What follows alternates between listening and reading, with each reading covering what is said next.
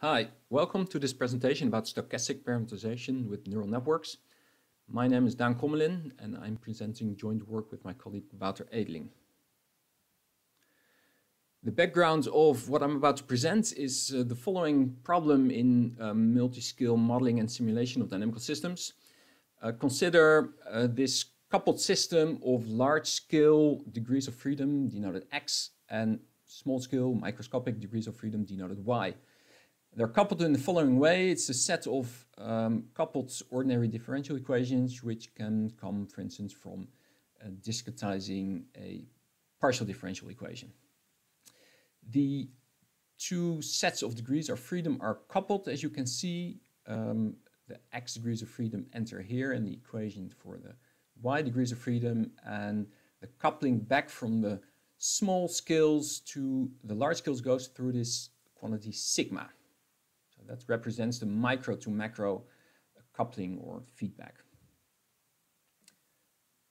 The motivating example that I have in mind for this problem um, is um, how to represent or parameterize small-scale processes in atmosphere ocean modeling. So this is one example where you see uh, on the right a satellite picture and on the left uh, a, a, modeling uh, snapshots from uh, a large-scale model, uh, background shown in purple, within which uh, small-scale models are nested that can resolve atmospheric cloud and convection processes.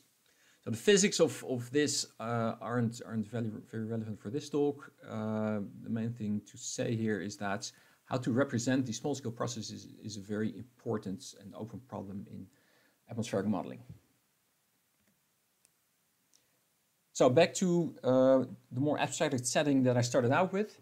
I'm going to focus uh, in this talk on uh, the case where the the feedback sigma that I showed before has uh, has an additive form. So this the function here, that's sort of the, the, the ODE for for the x degrees of freedom has this form. So the sigma sort of is added to uh, a essentially an, an, autonomous system for for x only. Uh, moreover, I'm going to focus here on the on the discrete time version uh, that you can get, for instance, by considering uh, um, numerical time integration methods. Um, for simplicity, I'm assuming a constant time step, uh, and then we get the following system where j is now the time index. Um, so it's, it's a mapping essentially from time j to time j plus 1, where the x degrees of freedom have a contribution that depends on x only. So that stems, of course, from this small f here, and there is this rj, it's like almost like a residual, and that comes from effectively from this sigma term here. From that's that's the feedback term. Um, the y degrees of freedom, uh, there x and y coupled, as you can see here, and, and then the coupling r sub j is effectively, it's a function of y sub j, and clearly because y, the time development of y depends also on x, so indirectly r sub j is also dependent on x. Okay, now the, the dimensionality of this, of this problem, uh, typically uh, the large scale degrees of freedom and this, uh, this residual or feedback R um, in the setting have the same dimension and the dimension is much, much lower than uh, the dimensionality, the total numbers of degrees of freedom at the small scales, so the dimension of Y.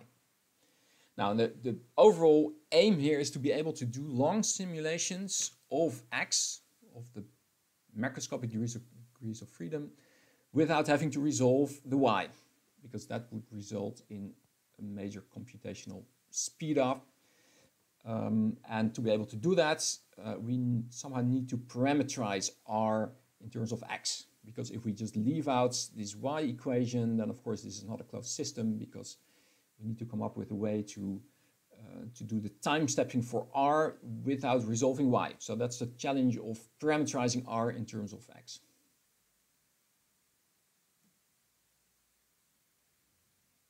Okay, now what the focus here is on um, updating, so evolving in time, um, this feedback quantity R by random sampling from this conditional distribution.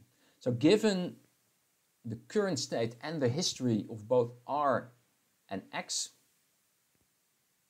we have a distribution for R at the next time step and we sample from that. Randomly sample from this conditional distribution and of course we do that then in tandem with the time stepping or updating of X according to this mapping here, to this rule here.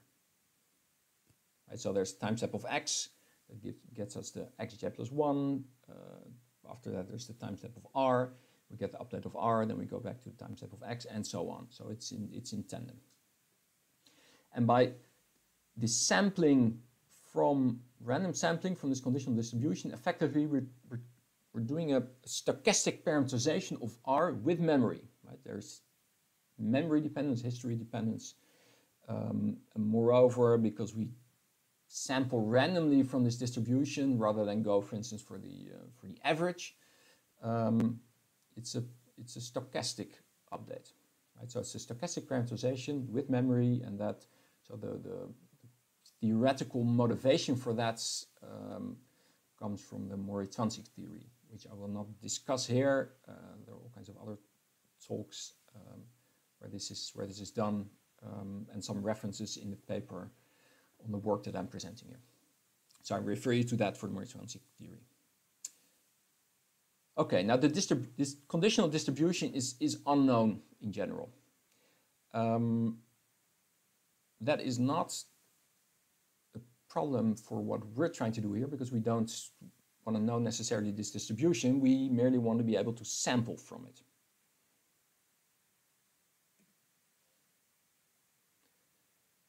So how can we sample from it? Well, the, approach that we're pursuing is a data-driven one uh, we're going to assume that we have observations of x and r over a whole bunch of time steps. So I'm denoting them with superscript O. So xo and ro are the observations. And they come from, for instance, uh, high resolution simulations where y is in fact resolved. Um, high resolution simulations that are limited in space or in time because it would be too expensive to, uh, to do that in, uh, over a long time interval or a large spatial domain. Another possibility is that these data come from, um, from actual physical measurements that would typically be X-only measurements, but then we can use this almost identity for, for R um, to, to get the R observations if we have the X observations. Okay, now what can we do with these observations? Well, we can use resampling we resample observations to approximate the sampling from this conditional distribution that I showed on the previous slide.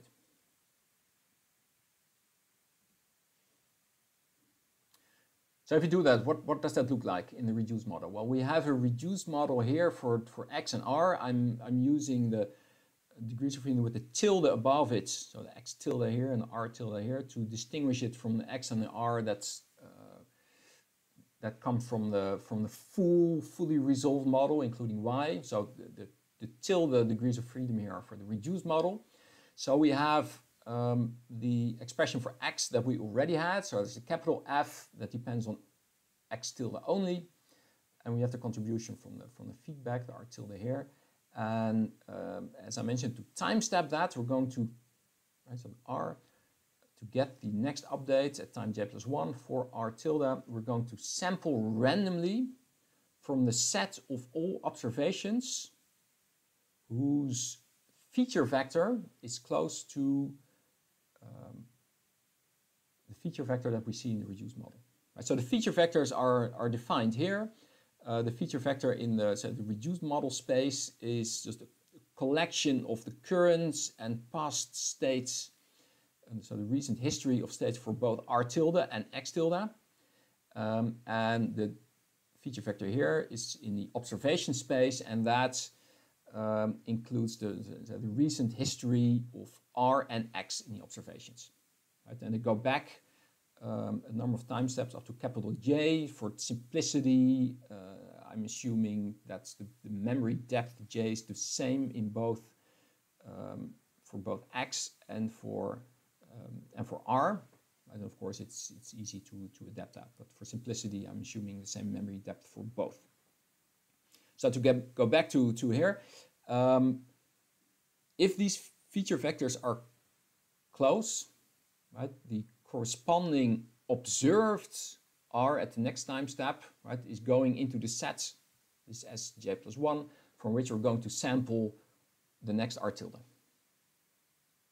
And, and this kind of uh, resampling um, is, is, is similar in, in, in construction to um, what's known as the local Markovian bootstrap that uh, uh, was proposed in a paper by uh, Paparoditis and Politis quite some time ago. And even longer ago, it's the idea of k nearest neighbor resampling that's been proposed in the, in the context of, of um, um, hydrological modeling uh, by um, Lall and Sharma in the, in the 1990s in those papers, so the, the local Markovian bootstrapping and the KNN resampling, there's no coupling back to, to, a, to this model for X, right? It's, it's only about resampling. So what's, what's new here is that we're using resampling in combination with this reduced model for, for X.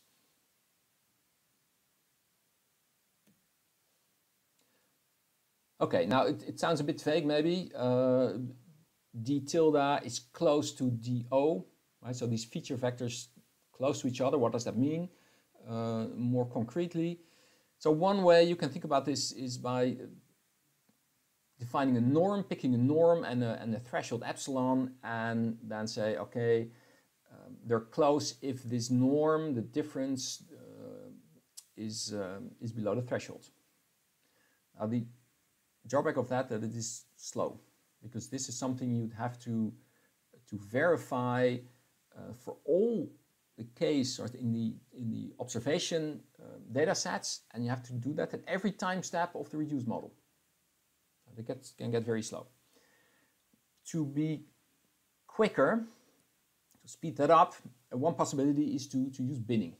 So you can bin these feature vectors uh, and then if they are in the same bin, then you say, okay, they're, they're close to each other. Now that is something you can do um, provided that um, the number of degrees of freedom in the feature vector isn't very large. Right? Because otherwise you get curse of dimension. If the dimension of x and r is, is denoted n, um, then the dimensionality of the feature vector is, is this, 2nj plus 2n. So that uh, becomes rapidly too large to, to, to do binning on. However, with small j and n, um, it's possible to get good results, in fact, very good results with this. And these are two papers uh, from a couple of years ago where we, uh, where we show this. Um, now, the alternative that that's, uh, is, is central to what I'm presenting here is um, actually to do binning, not of, of, the, of the feature vectors, but of the, say, the outputs of the R quantities and then to train a neural net to get a mapping from the space of the feature vectors to uh, to the bins. Right? And that's a essentially a problem of uh, probabilistic classification. Right? So the rest of my talk is going to be about this approach to uh, to do resampling in the context of, uh, of, of parameterization. Right? And the details of it can be found in this paper, which I'll show also at, at the end. Okay, so how does how does that work? So we're going to, to, to bin the, the outputs. Um, I'll say in a little bit why I call it outputs. Uh, so we have the space of observations, right? These, these R sub J O. Um, and we're going to discretize the space in which they live with a number of non-overlapping subsets, which we'll call bins. It's these B sub n objects. So that means that at every time step j, um, the observed R uh, is right, somewhere in one of these bins. And the idea is to train a neural net to map the feature vector to a discrete probability distribution over these bins. Right? So we want a neural net that um, can essentially approximate this distribution. So given the feature vector, what is the probability that the next R, right, at the next time step, I mean, at j plus 1, is going to be in the mth bin. So that is going to be the mth element in this sort of vector valued uh, quantity rho, which is a discrete probability distribution. So that's, that's a, a, as I said, a probabilistic classification problem that we're going to tackle with a quantized softmax network. So more details about that in a, in a, in a little bit. Um, so how does that work in, in uh, when we use this in the reduced model? So again, to what's needed is to generate r at the next time, r tilde at the next time step, j plus 1, given the feature vector d tilde sub j.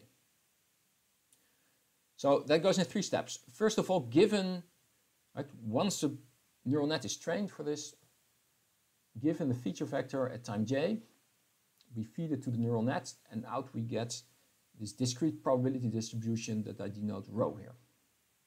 Right, so that's a, that's a vector valued quantity.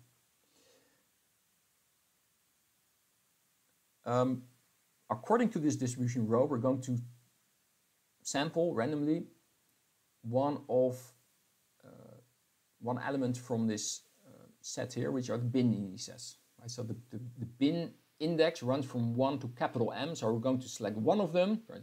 Sample randomly one of them according to this distribution rho. When we have that m, the small m, then we're going to look at all the observations that are in this bin, and we're going to sample one of them randomly and take that as the next R tilde. Now these last two steps can in fact be combined. Um, you can see this as a weighted sampling for all the observed R's with the following weights. Right, so it's a summation over all the bins, M, um, 1 over this quantity here, which is the number of observations in the mth bin. Um, rho m is the, the element from the discrete probability dis distribution that comes from this, this step 1. And then this is the indicator function uh, with arguments um, are observed in the mth bin. Right, and to go back to this one here, so b sub m is um, the number of observations RO that are in this bin. And here the summation is over the entire time length of the, uh, of the observation set. I want to emphasize that what, what's happening here, so this, this resampling with, uh, with neural nets is fundamentally different from giving a direct neural network based prediction of r tilde at j plus 1 from the feature vector uh, with time index j. because in the a, a direct prediction, we, you feed it the same feature vector twice, you get in principle back the same r tilde. Uh, what we do here is, is map the feature vector to a probability distribution over the bins and use that to do the resampling of, of r tilde.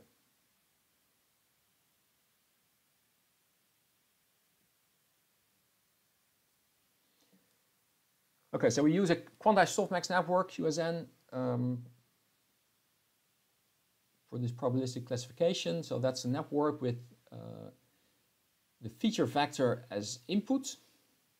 Right, so that's uh, these are in principle it's, it's it's a vector of size 2nj plus 2n with all real valued quantities. That's the input, and then the outputs, right? And that is why I was referring to R as outputs uh, earlier on um, the output of this QSN is uh, a probability mass function, right, where um, all the elements um, together sum up to one.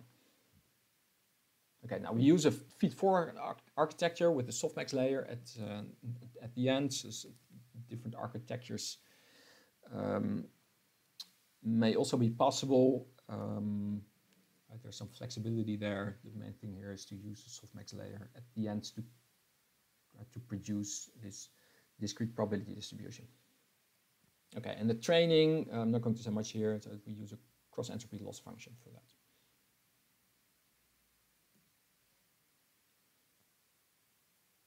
Okay, just showing you the, uh, the architecture in case the, the dimensionality of x and r is 1. So we have a, a, feature vector, we use two hidden layers here and here. Uh, it produces an output. Oh. Um, h from 1 to capital M, that's what you see here, and from that so we apply the softmax layer which turns this h into uh, the probability distribution in, in, this way.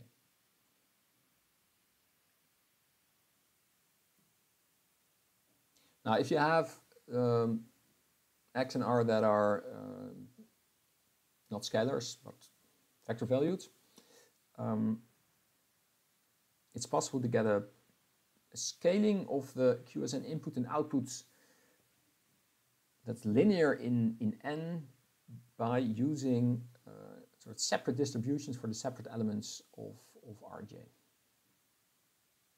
Here's an example um, of the architecture that you get with n equals 2. Right, so there's this, this h out. So first we had one of these, one such set right, in the previous figure. Now we have two such sets because n equals 2.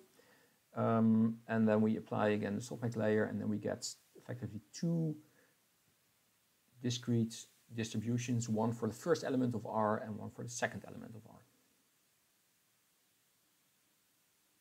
And in the paper we discuss other ways to, to deal with um, the case where n is, is larger than 1, in fact can be fairly large. This is, this is one way to, uh, to go about this.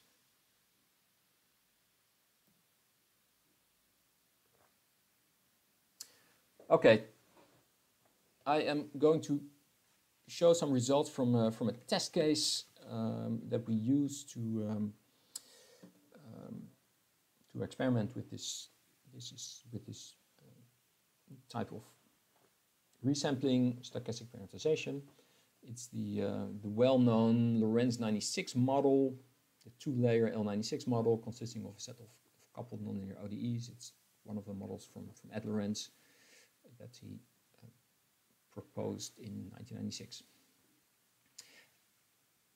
So as I said, it's it's been uh, its model's been used a lot for for uh, parameterization studies. Uh, I'm not going to discuss it here in detail. Again, I refer to the paper by Lorenz or all kinds of other papers. We also discuss it in, uh, in some detail in our paper, which I'll show at the end. So there you can find the details.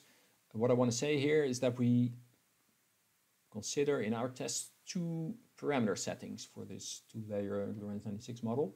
One is what we call the unimodal setting. Right, so it's a set of parameters that's very frequently used. Um, and it results in unimodal probability distributions for the model, the X model variables. On top of that, we consider a setting of the parameters that we call the bimodal setting, which is a non-standard, but it's also more challenging uh, for parameterization. In the unimodal setting, um, in my experience, I've used this model uh, on other occasions as well, also in the context of parameterization. In the unimodal setting, it's um,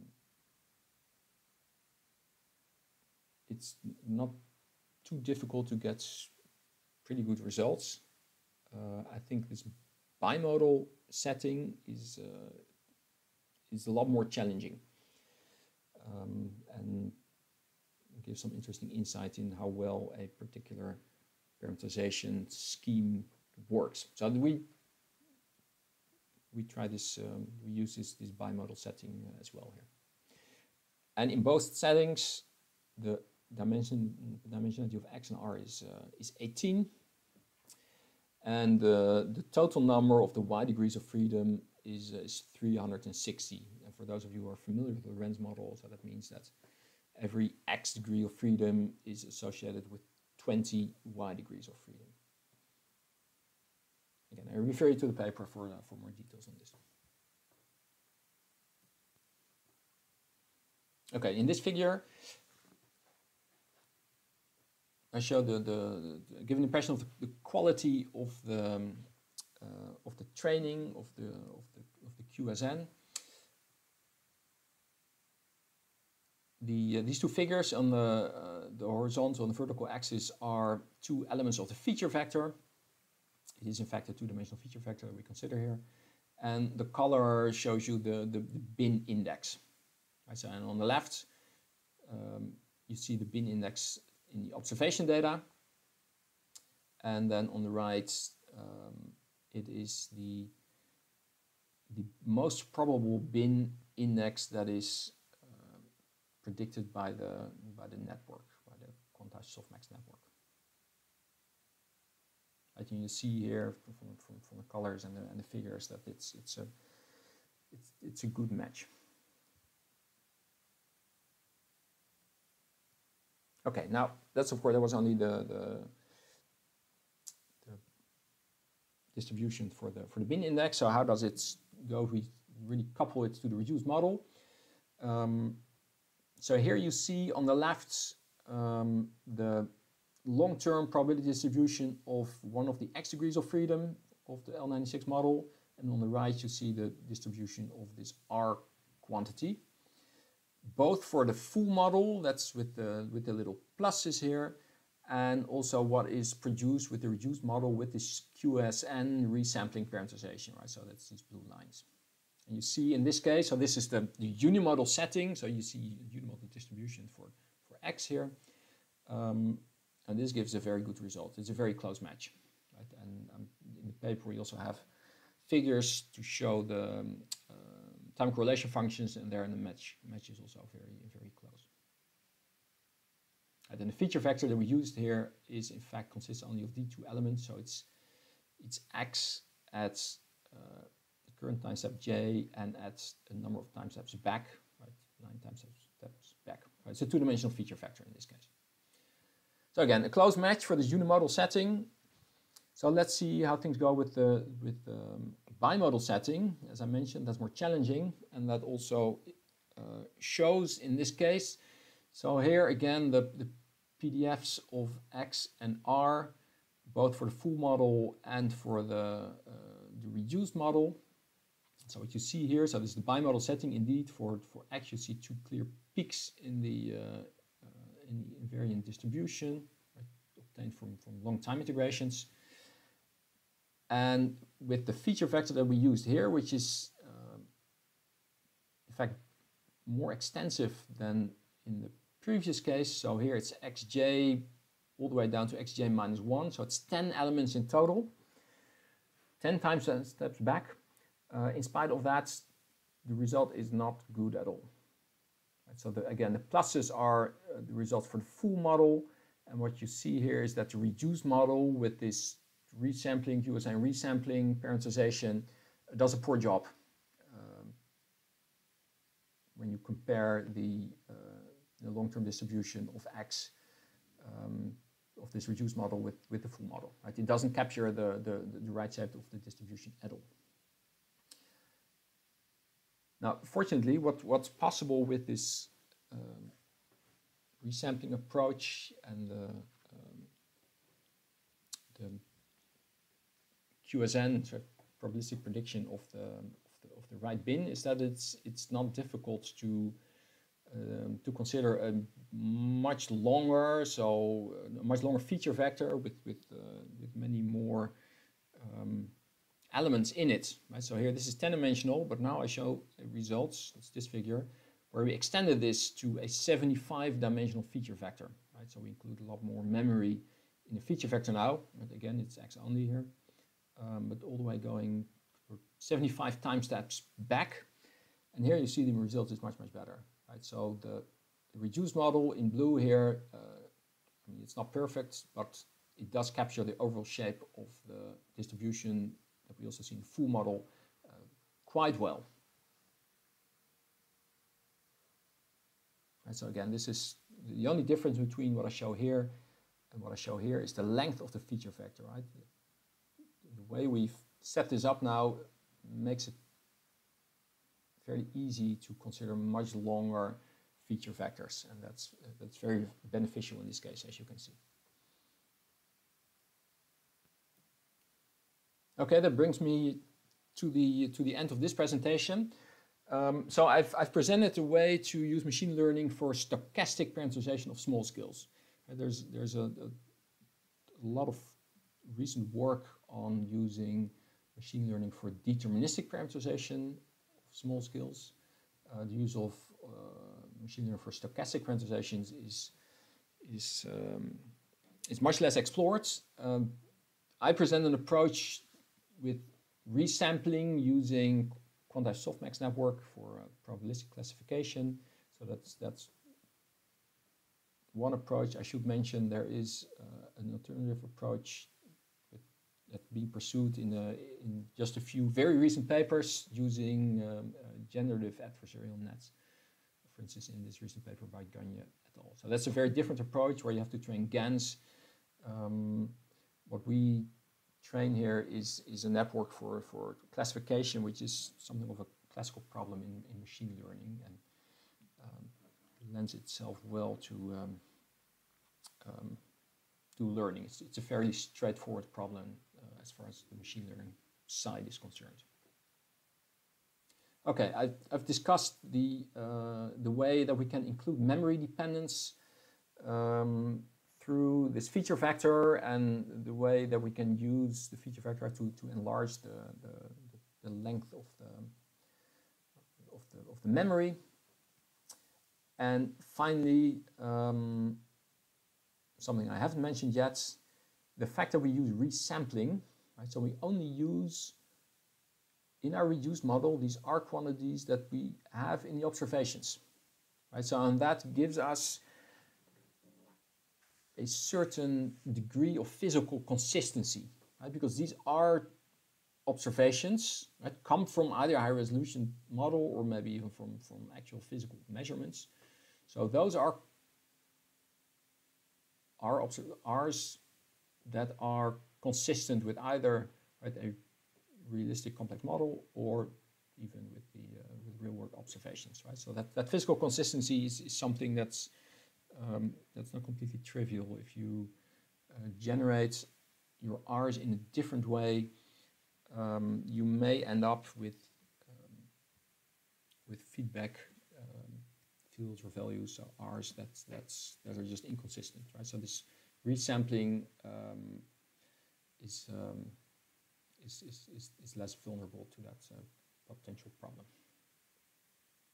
Okay, I'm going to leave it at this. Uh, just show the slides, uh, the organizations that have supported this work, and finally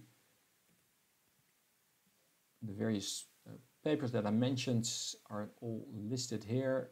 Uh, and again, the uh, most of what I presented come from the paper that's here at the, at the top uh, with Wouter Edeling. Um, that's on, on arXiv. And here you can find the, the precise number. Okay, I'm going to stop here. Thanks for listening.